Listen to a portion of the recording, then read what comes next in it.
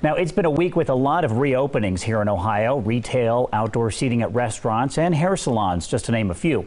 And more are set to open by the end of the month. But the tough reality for some businesses is that some will not be able to come back from this. NBC4's Eric Halpern is live in Clintonville tonight, where one local business has already made that tough decision. Eric?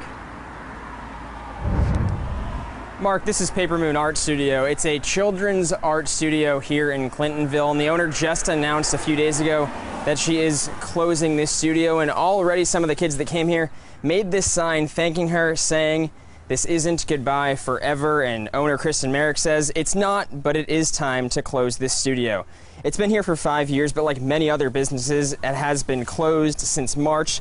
Cleanup for moving out of the space has already started. The space isn't that big, so if kids were to come back, social distancing would have been a huge challenge.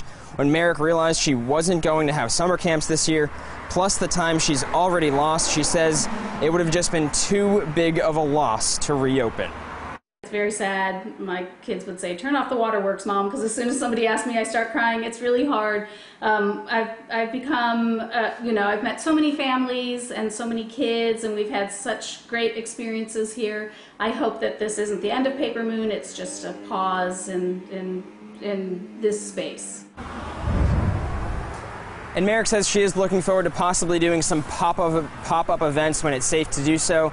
Now, another local business just down the street, also catered to kids, announced earlier this week it is closing for good as well. Live and local for you in Columbus, I'm Eric Halpern, NBC4.